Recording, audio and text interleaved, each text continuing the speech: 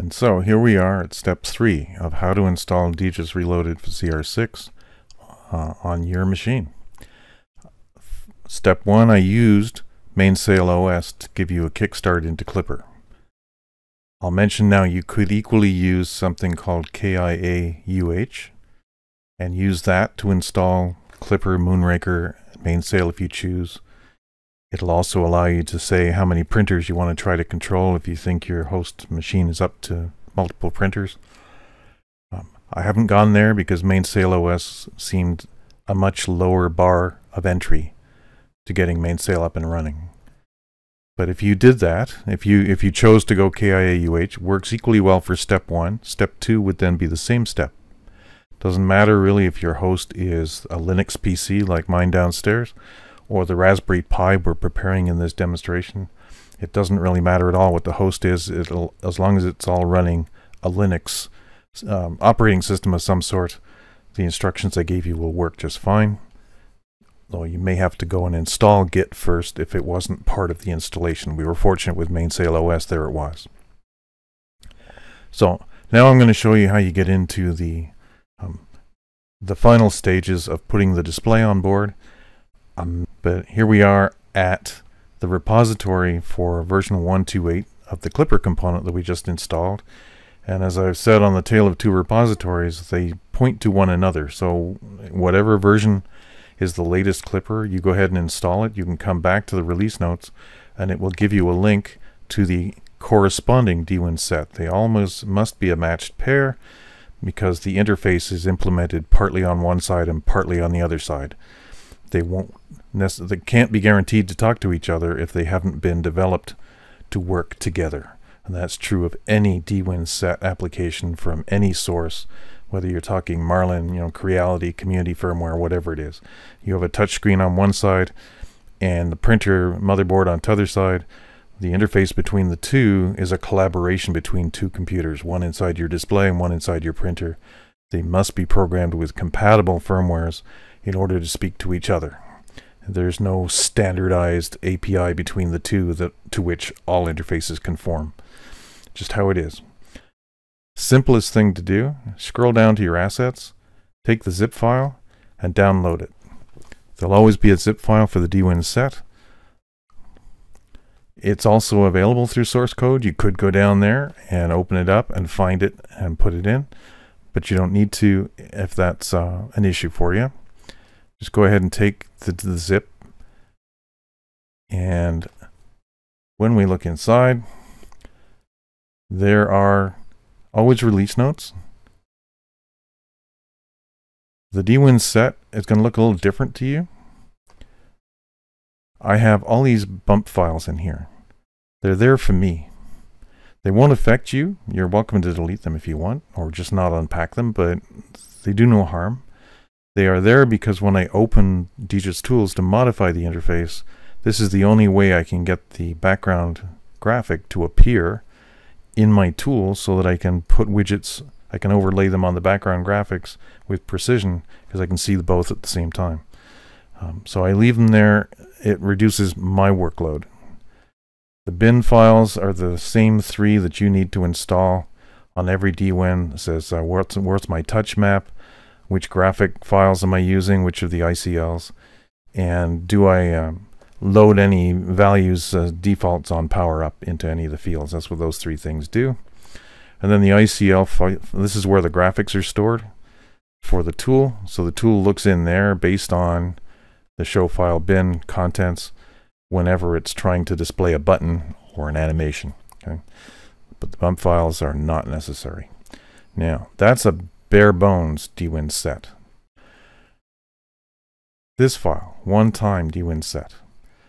I'm anticipating um, new adopters. New adopters are going to need to flash that and that at least once. If you're updating a previous installation, you don't have to update those anymore. Unless I say so, and I can't anticipate a reason why I would do so at the moment. This is the font. I changed the font so that the um, descenders are no longer being clipped like they are in the community firmware. And the config is very important because it tells it tells the bootloader where to load the graphics, what address to start from. And it's different from the community firmware. So these things are memorized by the display. If you've used them once, they stick unless you overwrite them. Um, power off doesn't erase them. They stick in memory and you have to overwrite them to change them. So if you do flash back to the community firmware, you decide, don't like Klipper, I'm getting back to Marlin, you will need to find the T5L config file for Marlin for the community firmware and the font file for the community firmware and flash those again to your display. But you only have to do this one time. So copy these into their own dwinset folder and flash them first and then go to the other or copy these into the dwinset folder here. Whoop. Here. Just just take these files and copy them not this folder, right? Copy the two files like that and then paste them in here if you like, and then take this whole thing, or this whole thing minus the bump files, whatever you feel, and put this dwinset folder into the root of the SD card that you're going to stick in your display. All right, and then go ahead and flash that to your display, and you will have completed that part of step three. So we put the card in the reader, we power up the printer. There it is, loads the three bin files. Takes a little longer with the ICL file.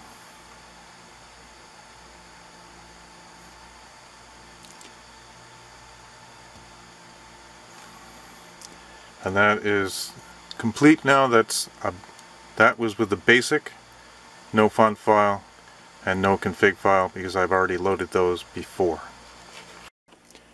Now here I have a, a second DWIN display. It happens to be an external carrier. The SD card here is being, the micro SD card is placed directly into the, the display. So I have this printed out and cut away so I don't have to keep dismantling the hardware. To power this one up, I plug it into a USB power supply putting in the ICL files and with 4.5 it may end up with that colored screen at the end of the flash. Fear not it will be fine. Take the power off the display. Remove the card from the back. Power back up. And there we are. 4.0 beta is installed. This particular display is not connected to the printer right now so I'm not going to be able to interact with this one but that one is and I will interact with that one. So this PC happens to be right next to the printer and that trailing wire in the left margin there right there is the Raspberry Pi that I have plugged in to the printer. That's our machine that we programmed up yesterday. On the Mainsail interface you always have access to restart firmware in the event that we've lost communications. So we push firmware restart. Klipper goes through its performance. It says oh there we go. Initializing we're connected. So now when I go back to the printer my stock display is exhibiting his home screen. I mentioned in the release notes if you tap here takes you back to the boot screen. These buttons out of focus on the bottom here, thank you camera, are the reset. So you can also do a restart from there now, which it will. It, it took us three seconds to get back in here. Now it's doing the restart. There, it's printer ready again. So the restart button does work from here, but only after you have established communications with the host. So now we're on this display to control the printer. I can use the move screen, right? I can change filament. All my functionality is here. All from that display. And to get there, all I did was I flashed this display here at step 3 and at step 2 we flash the printer there right with a, a card containing the klipper bin file. And we prepared this Raspberry Pi. That was our machine at step 2 yes those wires out there are going to uh, a vibration sensor that I didn't finish setting up.